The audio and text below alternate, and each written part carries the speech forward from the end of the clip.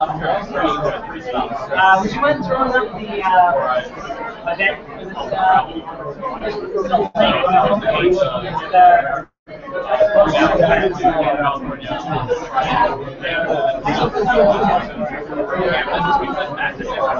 There's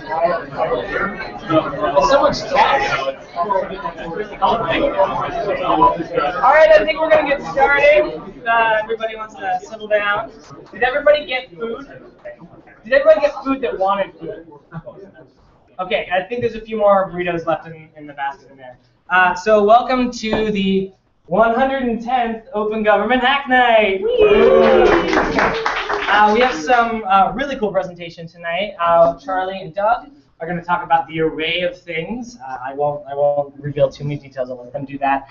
Uh, but before we get to that, we're going to very quickly, if we can, go around the room and everyone just quickly introduce yourself and uh, maybe just like you know what you're interested in. Why why are you interested in open data? By the way, if you don't know what this is, this is the OpenGov Hack Night. We talk about open data and civic innovation. So if you don't like any of those things, you should leave. Or, I mean, or maybe you might like it, but then we'll see. Um, so uh, we'll go around and do introductions, then we'll have a brief uh, open floor for announcements. If you guys have events or projects or anything OpenGov Civic Tech related, uh, sort of an open floor for that. Uh, and then we'll get to the presentation, uh, and then after that, we uh, will sort of break out into groups and work on stuff. Um, this week, we actually are trying out something a little bit new.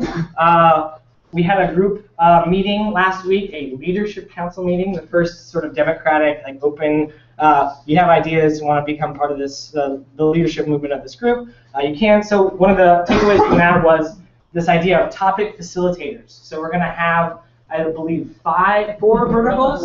Huh? Oh, you wrote them up there already. Uh, we're going to have breakout groups focusing on a particular area. Uh, so we have transportation. Is Stephen Vance here? Oh man, did he ditch the very first? Does anybody want to be? Uh, He might be here later. he might be here later. Okay, we'll leave that one up there. But transit uh, is one of them. Education, which I believe Josh will be leading, is on that here. Okay, so Josh will be leading that group. Environment, uh, Scott uh, right there. Uh, city data, Gene in the back. Uh, and then there's a civic hacking 101 slash orientation, which is Christopher. Um, we'll, uh, when we break out, we'll, before we break out, we'll, if anybody has any other ideas for breakout groups, you could sort of suggest those, and we can uh, sort of uh, um, run with those if you if, if people want to kind of coalesce around that idea. Um, so you have a little bit of time to think about a like really good idea for a topic breakout group. Um, obviously, we chose like sort of very broad categories. They could be more narrow than that. Uh, it's really kind of up to you guys what you guys want to talk about. Um, so uh, I suppose without further ado, then we will get to the introductions. I am Derek Eder. I am an open data web developer here in Chicago with DataMade, and I've been organizing this event for I don't know 110th time now. Uh, so uh, yeah, and I like building stuff with open data. Hi, my name is Christopher Whitaker. I'm a civic technology consultant for the Smart Chicago Collaborative and Code for America, and I'm also one of the organizers. Uh, let's go this way. Uh, I'm Greg. I'm a, I serve as a developer evangelist uh, with Twilio. Uh, I lived in Chicago for nine years and just absolutely love it. And this is the best intersection of Chicago and technology that happens every week. My name's Matt. Uh, I'm a recent Dev Bootcamp grad. Uh, just kind of here just checking it out. It's my first time doing uh, the Gov Hack Night. Uh, my name's Lauren. I'm a statistical consultant, and I really want to get involved in data, so I'm here. Hey, I'm Rafi. Uh, I'm a bio major, so I'm kind of out of my field here, but I'm just here to learn more about how technology affects the community. Scott. I'm an academic at Western Michigan University, urban planner uh, who's interested in big data and smart cities. Hi, I'm Peter. I'm a recent computer science graduate, and uh, I heard about this, and it looked interesting, so I decided to come. Uh, I'm Brian. I'm a network analyst and uh, interested in big data and pretty much everything else. Uh, my name's Narayan. I uh, build large systems for data analysis. My name's Scott. Uh, I work at Argonne National Lab, and I work on cloud systems. I'm Angela. I run CollectionSpace. We're an open source uh, initiative for museums with museum data. My investigation, I'm planning to run an open source project on the street libraries of the farmers. So kind of looking at what's the data can give you connect. Yes, Nicholas School. I'm Danny. I'm a recent graduate of the University of Chicago, um, and I'm interested in sustainability um, metrics and planning and how to integrate data into policy. Hey, I'm Varun Goel. I'm a software developer. I created an app with Gaurav here uh, for street cleaning in Chicago. I'm just here to learn more about open data. Hi, my name is Gaurav. So I'm an application developer and I work for the West Carolina app. This was really I'm David. I'm a software engineer here in Chicago, and um, I'm interested in what I can do with data and where I can find free data. I'm Claire, and in a week I'll be an interaction designer at the University of Chicago. I'm Elizabeth, and I'm a project manager in a creative agency here, and I'm interested in education. Um, my name is Sabi. I mostly work in supply chain analytics and uh, do also work in environmental issues. Uh, I'm Scott. Uh, I'm a software developer interested in uh, environmental issues, especially uh, Lake Michigan. Uh, I'm Nina. I do digital things and data things with Illinois Health Matters, which is an Obamacare facilitating group. And since there's a museum person and a, and a bio person here tonight, I will confess that I have a whole other hat, which is I study spiders at the Field Museum. And ne- next, next week, I won't be able to be here because I will be live tweeting the American Arachnological Society. And we'll be tweeting the stuff that gives me the EBGBs. Yeah. Tweeting the stuff that gives me the EBGBs. Oh, no, they're so cute.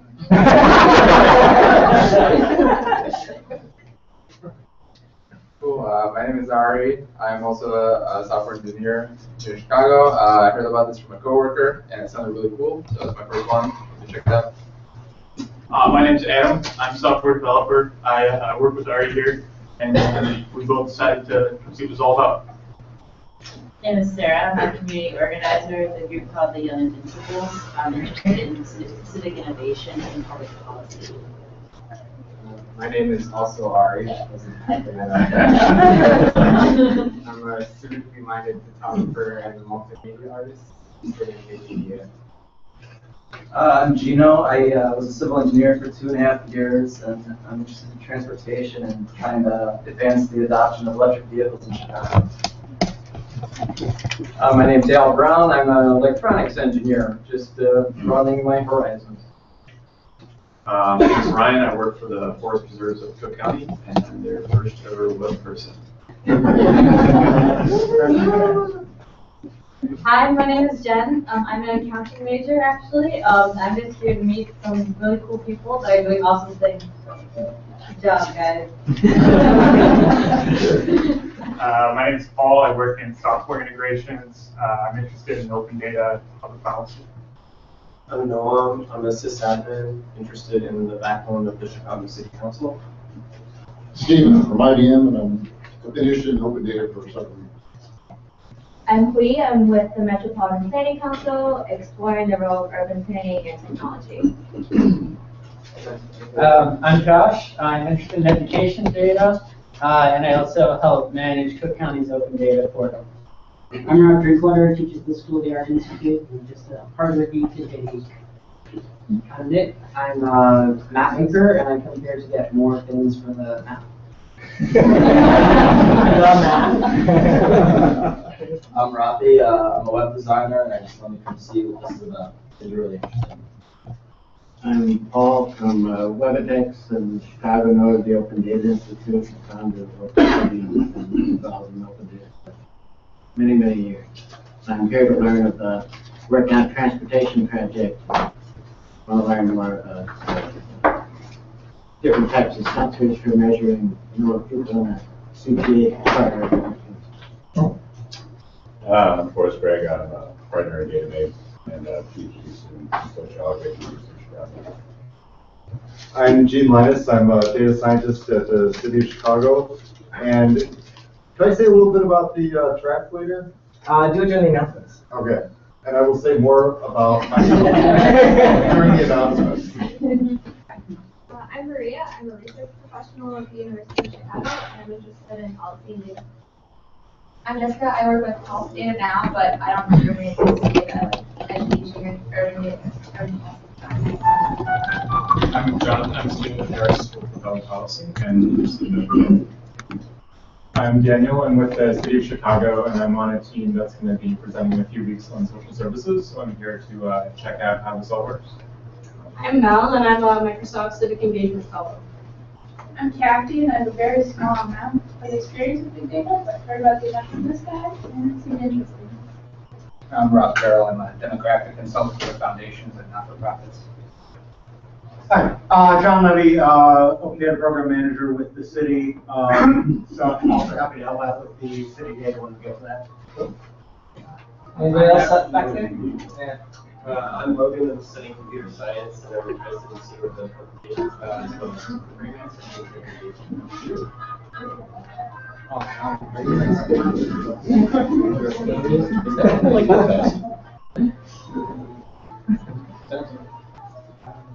Paul, citizen of the city of Chicago, and I'm interested in making education accessible to everyone. I'm Larry, I'm a business intelligence architect, I'm interested in open economy.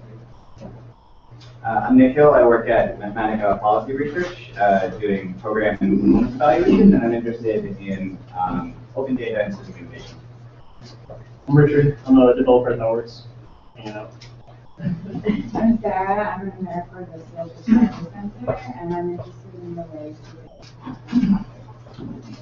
I'm Amita. I teach uh, data analysis at University of Chicago. I'm interested in measuring corruption using crowdsourcing. I'm Linda, I'm founder of uh, Honorary Chicago, and mapping the Chicago's uh, honorary streets and different uh, honors given out by the city of Chicago. I'm Chad Griffin. I'm an artist and designer. Um, my first time. I come see what's going on. I'm John. I'm a software engineer. I've uh, been on the mailing list for a little while, so I'm excited to finally make it out to one of these and see what it's all about. Uh, I'm Corey. I'm a software engineer. I'm this is cool because uh, it sounds like you're making Chicago more of a computer, so that seems nice.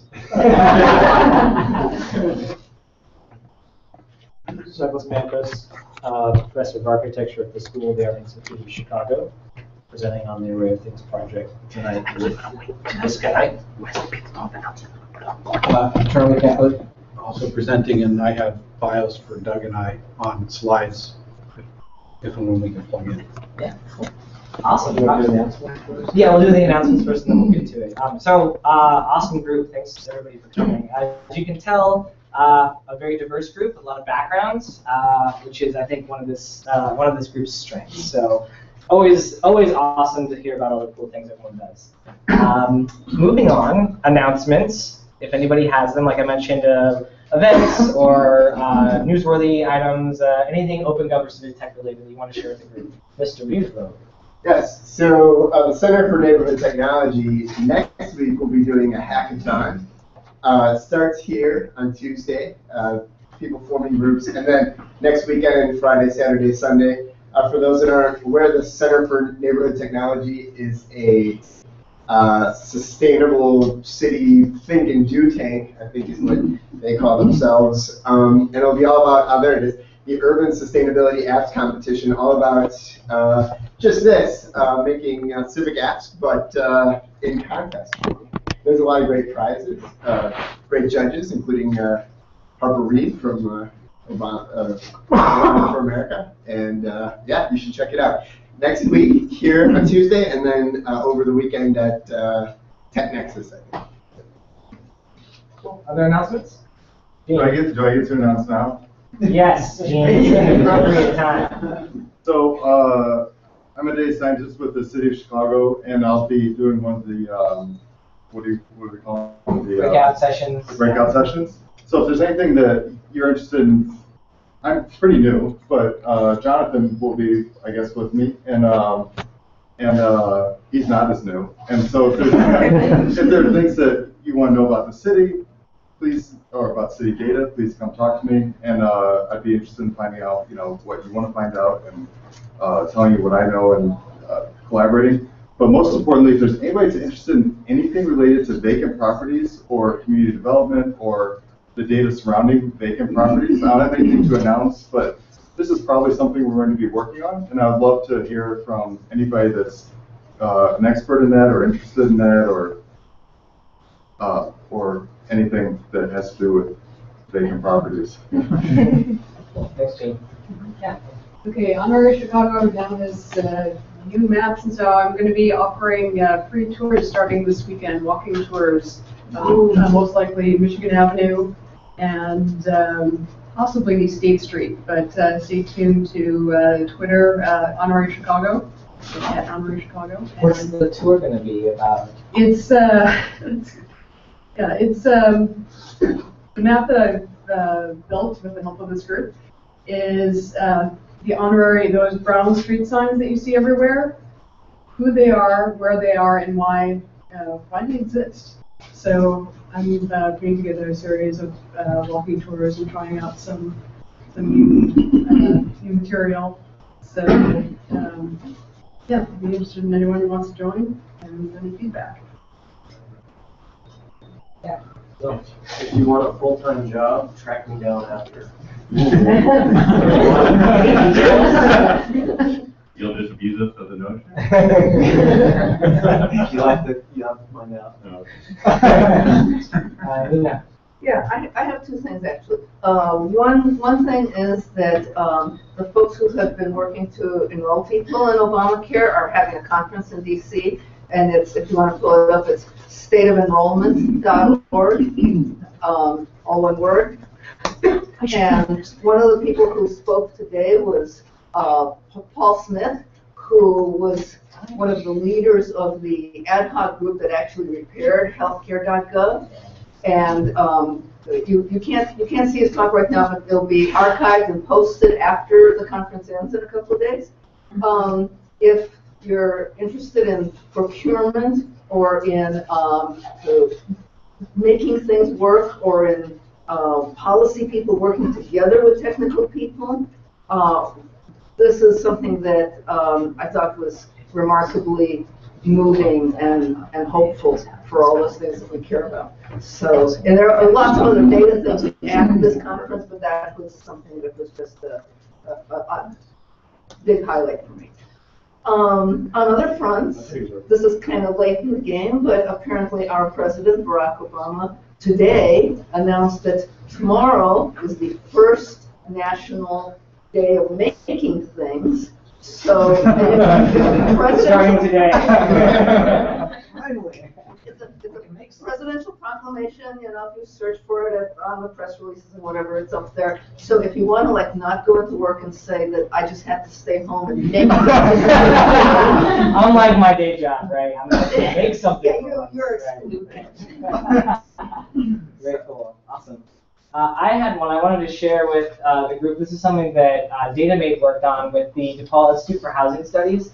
This is a parcel uh, resolution map of Cook County, and it is each building is highlighted by the uh, housing stock composition. So we have single-family homes in sort of this lighter yellow, uh, condominiums in sort of a darker orange, gold, and then two to four unit buildings, five to 49, 50 plus. Um, and so you can kind of browse around sort of for the first time in very high detail uh, all the housing stock compositions for different neighborhoods in Chicago. And as you can imagine, it varies quite a bit actually based on where you are in the city. Uh, if you actually zoom out a little bit, Christopher, um, you can obviously tell uh, in the suburbs there's obviously a lot less density as you go further out, uh, and then there's certain neighborhoods, uh, and a lot of this has to do with the age of the buildings and when these neighborhoods were sort of first built out. So there's a lot of uh, a lot of uh, two to four unit buildings in my neighborhood in Logan Square, and then also in like the West Loop. That's where a lot of the condominiums are getting built. So it's really cool for the first time you can see this uh, see this data. So feel free to browse around with that. Uh, any other announcements? Cool. Well, then I suppose without further ado, then uh, we will get to Charlie and Doug. By the way, there are will be three chairs up in the front for those of you who want to sit up here, uh, uh, and not stand in the back. Um, oh, and there's one up here too. Yeah, a couple. Yeah. Um, so I guess I'll leave it. Uh, I'll leave it up to you guys. Yeah, his first, and then, uh, I have it pulled up right now. Just a second. All right, I'll give you the key.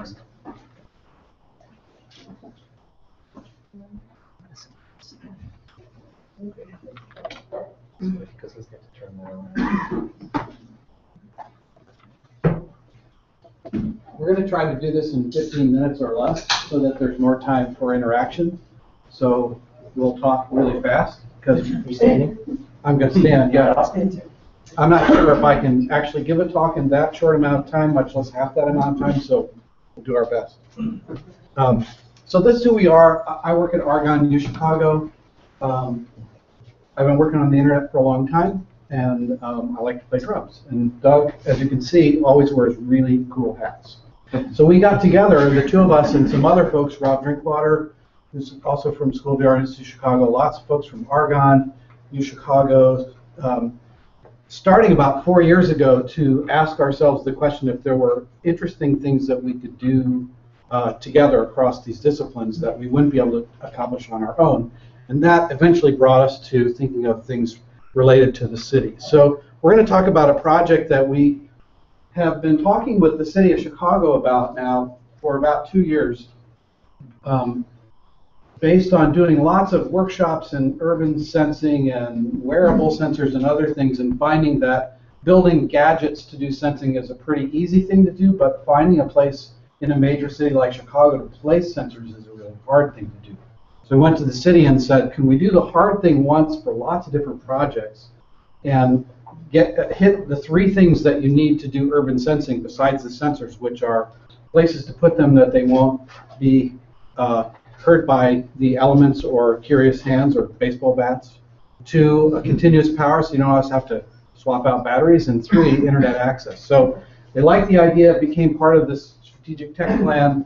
Uh, and we wrote a proposal to the National Science Foundation. We haven't heard back yet, but we're moving forward, and I'll tell you what that looks like. So first of all, why we're doing this, I mentioned some of the motivation, but there are things that um, our scientific colleagues at universities and labs don't understand about cities. They try to model cities, but we haven't ever measured certain attributes of cities. Simple things like measuring how the air flows through urban canyons. We can model that, but we have never really measured it to see if the model is reproducing what happens in real life. Other things here, and another thing that we wanted to do was to enable not just university research, but commercial research as well in an environment that's not available as far as we know anywhere else where you can say, okay, I have 100 sensors, I want to spread them around a downtown area, uh, can you install them for me sometime in the next few months so I can try this experiment? Or I just need a Linux box on every corner in the downtown area with the Bluetooth antenna. That's not something that most cities offer. Asking yourself that question. Yeah, I'm, yeah. I'm sure half the people in here have thought about doing that. Um, so we think of it as sort of like this breadboard for the city where we have the ability to inject technology right down into the built infrastructure. Um, and what we're hoping is that um, by putting something like that out there, it will cause people to think of things that they might not have thought of if they didn't think about the possibility of a Linux device with a Bluetooth antenna on every corner or something like that. Okay, so that's why. What is it? Um, it sort of depends on your point of view. Um, Douglas will talk about what we've, uh, you know, what we've been thinking in terms of what it looks like and, and how people perceive it and interact with it. Uh, at Argonne and U Chicago, we've been working on what the guts of it look like and sort of the technology of the thing. It's got a, a control system. That's a Linux device. It's got sensor hosting devices. It's got um, provisionable Linux devices in it. Um, uh, somebody, as I was walking in, said, "Oh, you brought one with you," and I corrected him and said, "No, I brought it with us." It's so this is like serial number one. Um, it's got five different microprocessors in it that we're trying to test it out to see if when you do this and put it up in the sun, if they will survive. Um, so that, that's you know part of what it is. It's this really kind of 3D puzzle slash computer engineering project. And then for most people in the room, maybe the way you want to think about the, uh, the array of things is it's this really big bucket of data that will continue to, to grow over time. Uh, I should also mention the array of things uh, came out of this kind of thinking about the Internet of Things, uh, which is one of the buzzwords or phrases that I try to avoid, the others being smart city and big data. Um, and, and we were proposing this to the National Science Foundation as part of a, solicitation for major research instrumentation. So we thought instrument, it's an array. It's an urban instrument, so it's the array of things. So that's where that name came from. Um, and uh, so, so this is what, what we're doing. Um, this is who's involved. Uh, several companies uh, here, and then uh, since we drew this slide, we've had uh, Motorola Solutions and Qualcomm offer to get involved and provide engineering and give us gadgets to put out there. We have been working with scientists at all these different places on different things, and so when we started talking about big sensors in the city, they just came out of the woodwork and said, "Oh, we do this experiment or that experiment?" So we just had this, you know, 13 universities or so, and all these different science groups that said, you know, could you put like precipitation on at least some of these devices, or wind speed, or or motion, or something like that. So that's who's involved. Um, the, the sort of where and the when, what we're hoping and shooting for is by the end of September, uh, before we hear about this NSF project that would allow us to buy, this is what 800 of them would do. We think with the money that we asked NSF for, we could actually get to that scale. Maybe not in these exact places, this is sort of notional. Um, but while we're waiting for NSF to make up their mind, Argonne provided some money for us to build about 30 of the units um, 30 that will be something like that, and then Doug will say more about what they look like. And at the very least, we want to start with uh, up and down Michigan Avenue here because there's an Internet of Things conference happening here in October, and they're going to do this walking route with uh, Chicago Architecture Foundation uh, folks helping them on that route. So we want to put these out there and see if we can have some sort of demonstration applications. So that's the who, what, where, when. Uh, how, uh, and Doug is going to talk a little bit about uh, some other aspects of the project, and then we'll sort of come back and if you haven't figured it out by now, we'll, we'll propose some reasons why we came here to talk to you about it. So I'll talk a little bit more about the thing in the array of things. So it, it's not only a platform for urban science, science is primarily a platform for urban science, this system, um, but it's also an infrastructure. It's a physical infrastructure in the city. Uh, most infrastructural elements in the city are, are meant to be neutral. They're not meant to be seen. They're meant to be useful. They're meant to be used. But they're not necessarily something or an instance of, uh, um, of something that's meant to be specifically interacted with. So, here, I'll just. Can you advance? Yeah, no, thanks. Okay, so um, cities are getting bigger. You know, we, it took us 100 years to develop cities that were over 10 million people. Now we have over 30 of those. Tokyo, the first city over 30 million people, is now one of many. So cities are getting bigger, but their footprints ought to not get bigger. So I think that we're going to have to deal with a different kind of choreography of people in built space. And so that necessitates a kind of an infrastructure that is maybe a little bit more resilient and can adapt to conditions. Hence the array of things. Next, please. So you know, this is the infrastructure that we have.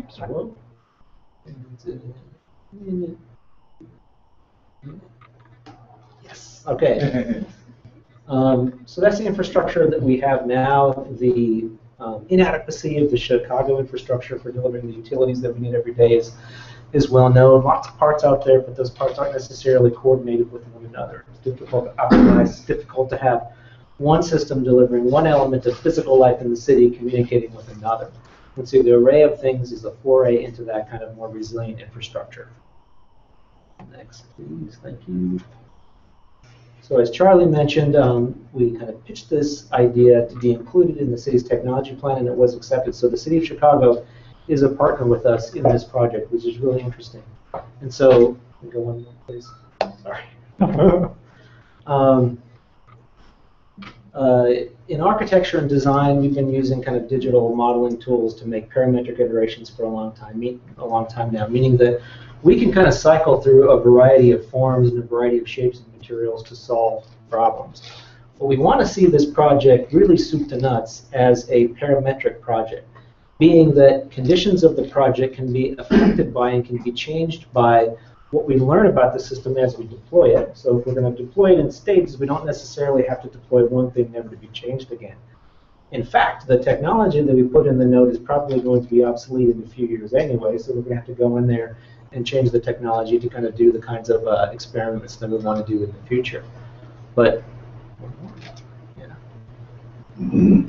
Um, so, you know, uh, different conditions in different places where, where we uh, uh, deploy the nodes might cause it might um, cause us to develop a different kind of node. There's, it's not necessary that each uh, uh, node element look exactly like or perform exactly like any other. Um, for example, if the system is collecting information about uh, air quality in, in a neighborhood, right, that data could be used to um, control and message people about the quality of air quality, the air quality in, in their neighborhood. There might be a condition that is worth sensing in another place that is more useful than air quality. It could be about ground temperature to see if ice is forming. It could be about um, the, uh, the amount of people walking on the street, thus providing a um, kind of safe passage if you're walking at night. Next, please. So kind of the openness of the design parameters have been wrapped into the form itself. Um, the, the, the node is, consists of a ruggedized, weatherized box that we have all of the electronic elements in. And then around that is a layer of material that is kind of customizable per location and per performance. So there are elements of the of the wrap that goes around the, the node that are that are changeable. The size of the wrap, the material, a kind of perforation, different ways of, of emitting light and controlling the emittance of light. Um, and uh, the idea is to kind of open up these parameters and connect with people in participatory design events between now and the full uh, kind of uh, unrolling and deployment of the project so that each node installation is customized per neighborhood and per condition. It's really important that um, this whole system be seen not only as a platform for urban science but also community technology. If uh, if this system gets misunderstood as another form of urban surveillance, we're in big trouble. So we can fix the technical aspects, we can fix the hardware and the software, but if we lose trust as we enroll this thing, then we're dead. We'll never be able to kind of reconstruct that, that trust. The system is really about ambient conditions in the environment, temperature, humidity, light, sound. Um, there's no camera, uh, there's no microphone. There might be a microphone later for kind of detecting sound gain, but the idea is not to uh, um, warehouse information that is identifiable, identifiable to any particular person. Although particular people, uh, when open data, kind of making communities use the data to make apps and tools, um, uh, you know, for people in neighborhoods, might see some value in the project.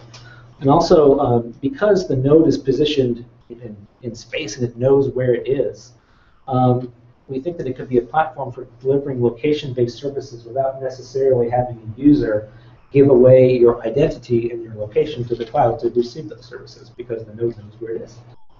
Next, please. So this is the kind of the diagrammatic description of the of the the um, enclosure elements of the of the project. Customized wrap, LED lights, hardened enclosure, sensor pack, all of this positioned on uh, street lamps. So I don't know if it was clear, but the, main armature for these nodes are city street lights, illumination lights, traffic poles, things like that. Um, most of them have power being uh, provided 24 by 7. They already have kind of uh, uh, ubiquitous exposure in the city. So pretty much wherever you go, there's a there's a street light or there's a traffic signal. So we've got a ready-made kind of grid to work with. Please. Almost done. So there's an instance of a prototype of uh, the node on uh, being exhibited at the, the City of Big Data exhibition over at the Chicago Architecture Foundation. So you can go check it out, and you can kind of see a scale model of what this thing is going to look like as we begin to roll it out. Next, please.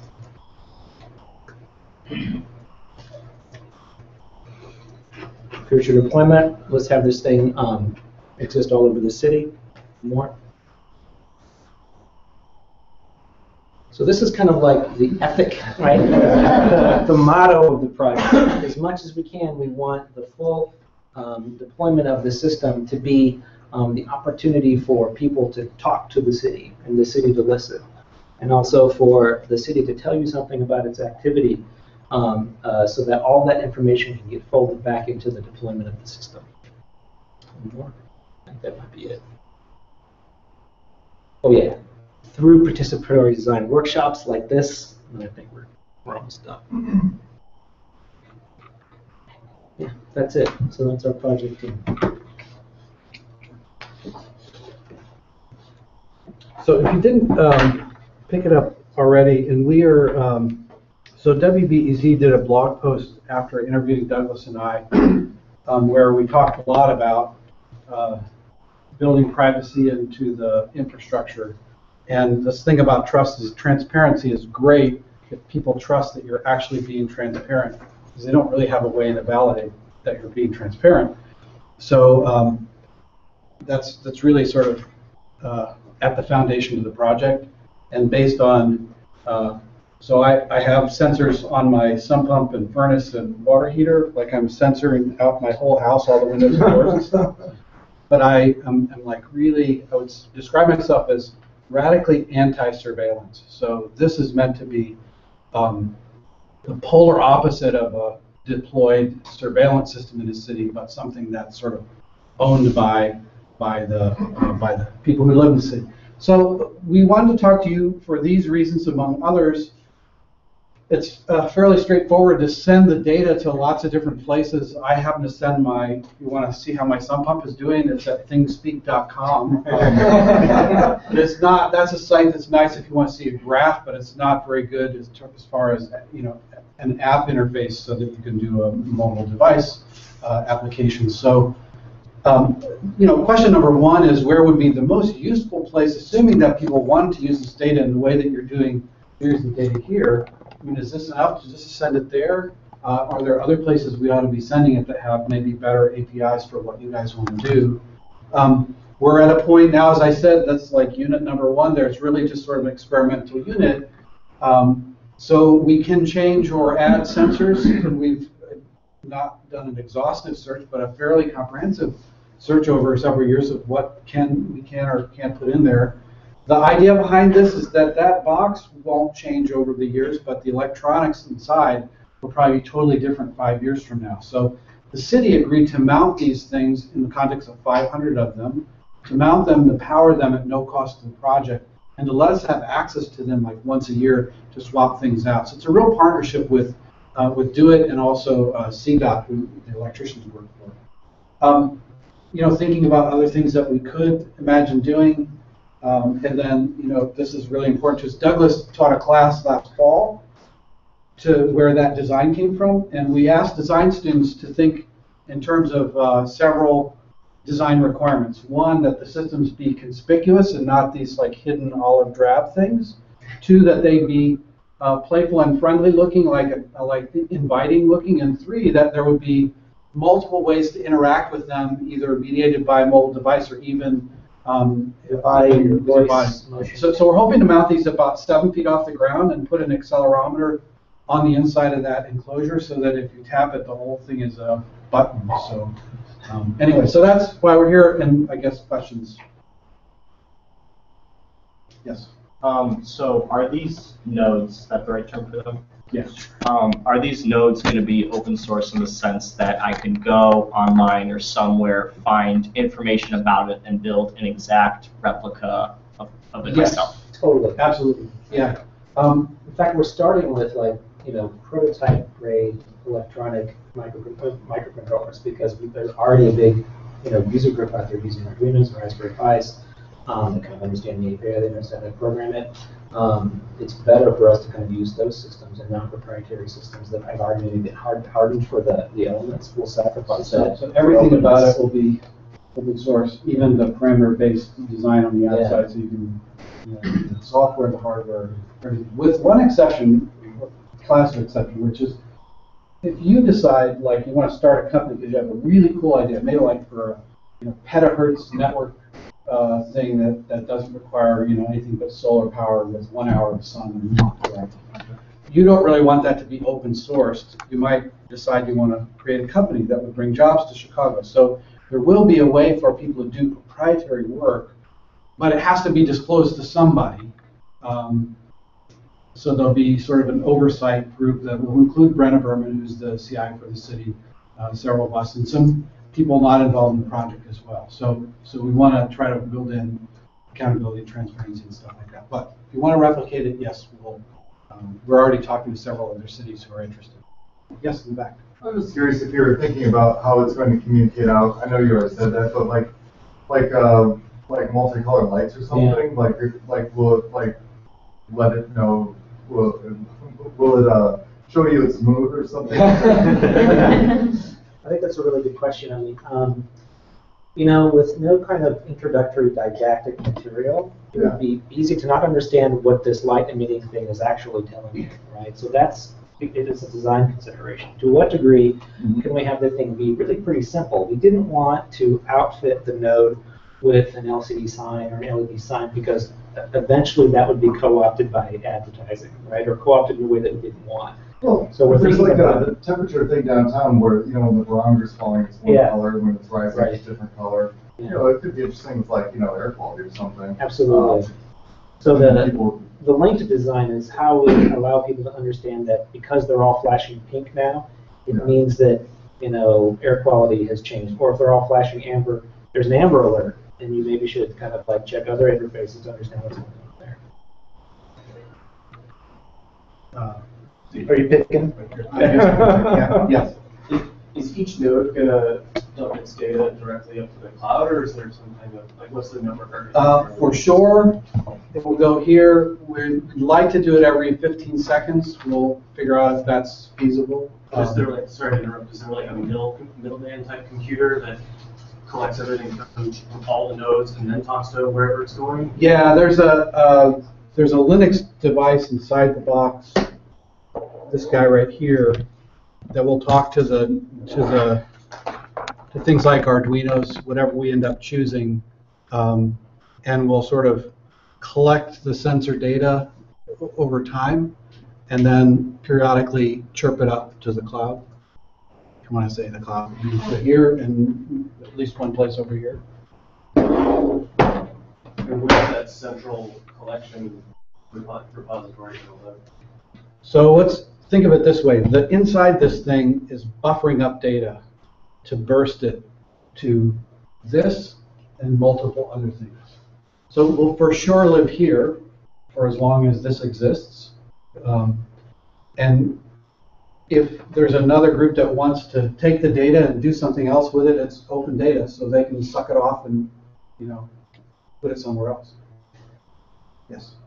I think you mentioned something about um, some component of it being provisionable. Can you say a little bit more about that? This is something that we, we want to do, not in this version here, but the reason for all the Linux devices is we want to have a, a device that controls the sensors or that collects data from the sensors, but we also want to have at least two or three other Linux devices that are there that have access to the sensors and as well as to the antennas. And then, um, you know, we do this at Argonne, for example, we run national and international instruments, and you put a proposal in that says, I'd like to use your supercomputer, I need this many processors and this much time on the machine. And that gets peer reviewed, and then you get allocated the time if it's, you know, scientifically, um, if it reviews well. So we have a similar idea here where you might decide you want to do something with 100 or 200 Linux devices on street corners and you need access to the Bluetooth antenna and something else, then we would have a way to give you those machines for a period of time for you to do your development and, and your, and your deployment. That's where it kind of gets tricky with trying to maintain the system as, you know, stable and also uh, as, as uh, respecting privacy, and that we'll be looking at the code that people are putting out there and we'll have agreements about what they can and can't.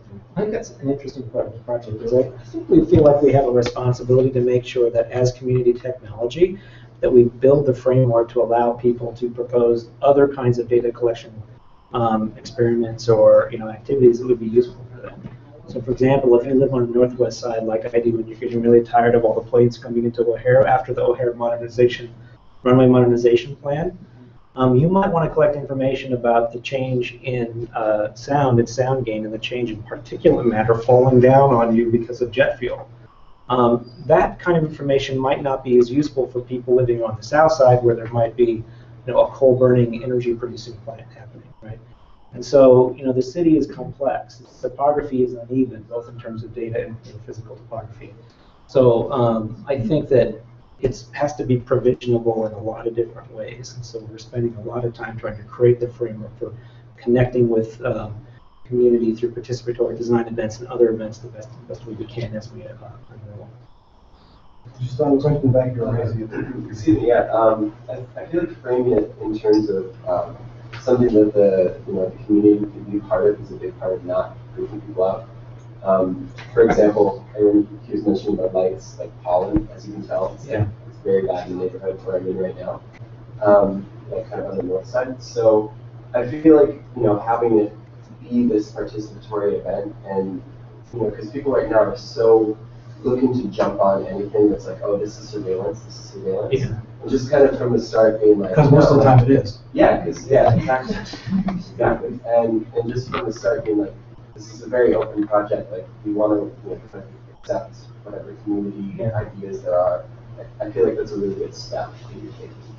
I mean, if you're a neighborhood, then you could advocate for the, for like the delivery of city service to your neighborhood because the information that is available to you um, that you could create via this data, that would be fantastic. So the city has been, you know, removing ash trees by the 10,000 every year because of the emerald ash borer right?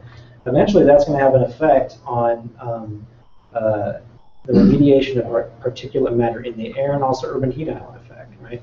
So if the city has removed more trees in your neighborhood, you should know, and you should be able to advocate with data for policy change or delivery of service in a way that really makes sense for you. In fact, that's a really provocative part of the project for me, is that because we're partnering with the city, um, well, I'm just going to leave it there. Of course. I mean, so you're kind of talking about politics here. What is the, what is the governance structure going to be? I mean, Is there an IRB? Is there going to be, I mean, like, uh, what kind of a, I mean, I know you guys, and I like you guys, but like, what's the, what, when you guys move on? Yeah, trust us. I mean, like, how, like, what is, are you, what, how are these decisions going to be made about, uh, these kind of subversive ideas? So there'll be, we don't have the, I don't, I can't draw you an org chart and tell you all the things that they're gonna be, but we're talking uh, with Brenna about an oversight that would look at all the experiments that are being done from the point of view of the general public. That will be a group that will, as I said, have Brenna, some of us from the project, and then people from the community. Obviously, you know, we have to choose people to be on a, a board like that. Um, from the point of view of technical decisions, there, there'll be a small group of us who are actually already involved in making these technical decisions. Um, a lot of the technical decisions and even the placement will also be influenced by the science that we're trying to enable. So we, we, we put together four different science teams led by faculty at four different institutions. Uh, one in the physical sciences and life sciences, one in engineering, uh, one in social sciences, education, healthcare, and the uh, fourth in computer science. So, um, and then where you have a, a process that approves or doesn't approve experiments, that's something that I've been personally involved in for a long time, uh, several decades, and so we sort of know how to do that. Um, but you, you know, you're, you're you're right to ask that question because that's part of transparency. And until that sort of out there, well, it's an open question how this is going to work. Now we make a public commitment to here's the thing and all that stuff. Right. Um, I, I don't want to. So Yeah, you, So, uh, we'll I'm- take I'm maybe looking one more forward question and then, um, and then we can proceed to the breakouts. Um, We could do it like those uh, t-shirt cannons. Who wants to ask? This guy here. Um, just back to the provisioning really quick, because what you were talking about as far as governance, is there, is there a reason that it's not more like, say, the Weather Underground network, where the devices are individually addressable, and therefore the provisioning, I'm, I'm curious about that, because it sounds like the provisioning will enable functionality that isn't normally there, say, through the API, and if it always was, and you could pull the machines, A, that would seem to aid transparency, and B, it would seem to allow multiple people to do research simultaneously. Is there a reason why you're So, let- restricting? Let me sort of, uh, I think we may be talking about two different things. Okay. So with Weather Underground, if you want to write software to run on that node. Right. are you, are you saying that if I have a Weather Underground node, that it's open for you to replace the software on it with what you want? That, that's the question. What, what are, does the software you're putting on the node not do that other scientists would? And if there's abilities that are there that you're not opening up to the people that it can do, but you're not giving them, the question is why? Meaning, if I've got a weather underground node, its job is to gather the weather. So what weather data is it not gathering that it can gather that someone would have to rewrite the code for? If you design the system properly, you Think wouldn't of have it to this deal, way. right? It's a Linux machine. Mhm. It's got capabilities. It's got, it's got the ability to do stuff that I can't even imagine, right? I mean, it's, it's a, it's a Linux machine. So- Right, but, but it's only a set of sensors. You've designed the sensor used into it. I mean, yeah, it So becomes a separate distributed from these provisional Linux machines, right, uh, is another machine that controls sensors and places that data where these guys can get. Uh, we've decided that for various reasons, or we will decide for various reasons, including bandwidth, uh, uh, bandwidth preservation and transaction costs of the server, that we're going to report data at a certain rate. Um, we can't report, you know, every 10 milliseconds. It's a choice that somebody has to make. The reason we're having provisional devices on there is so that people who have ideas that we didn't think of can implement those ideas on the platform. So it's not about withholding capabilities. It's, it's actually about giving capabilities. It's- It's about giving a generative system to the community.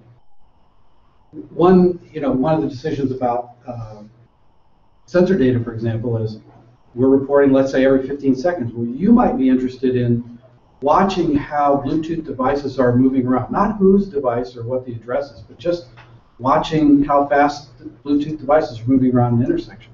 Well, it's not that we didn't think of that, it just wasn't something that we thought was going to add value to the 16 science groups that we were talking to. But if that's something that's important to your research, then we want to let you be able to do that. So I, I, don't- I'm, I'm sort of puzzled by the withholding comment because. Well, but in, in the case that was just brought up as far as governance, if somebody could provision the machine, why wouldn't they be able to gather, gather Bluetooth data that is not private? You're, you, it- seems like it's a trust issue then. So if the device can do it, someone could use it for that. And unless you're gating it as a device, there's nothing to prevent, and then it's back to your trust issue. That's the question. Down to what kind of sandboxing you're doing. Yeah. Yeah. If you don't. lots of ways to do that. Yeah. Well, that's, that's the question. Meaning, if, if you're not partitioning it off at the hardware level, how do you rectify that with the governance issue? So, uh, okay, so I think I'm starting to answer, or uh, understand your question.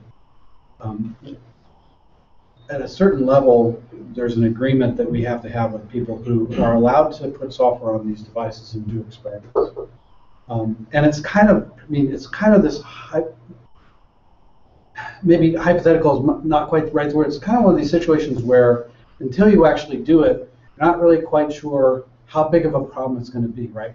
So I've been in lots of projects where people said, no, no, we can't have an open wiki because people will put graffiti on it. It turned out nobody did that, right? Okay, one or two people did it, and then you, you took it off, right? And they didn't come back. So it may be that um, nobody would even think to, you know, collect Bluetooth addresses and try to, you know, track their former girlfriend through the city or something like that. Um, but we want to review the code that's out there to make sure that that's not happening. Whether somebody is clever enough to break into the system and do stuff, well, that's the danger that we have with all, all systems. So there's an internal debate that we're having technically as well, right? Which is, should this machine here be the only one that talks to the internet? Should it watch all the bytes that come off of these or not. So we're, we're sort of having that debate, and, it's, and it's, until we put it out there, it's not we don't know uh, you know how many belts and suspenders we will we will need. Cool. Awesome. Well, thank you guys very much.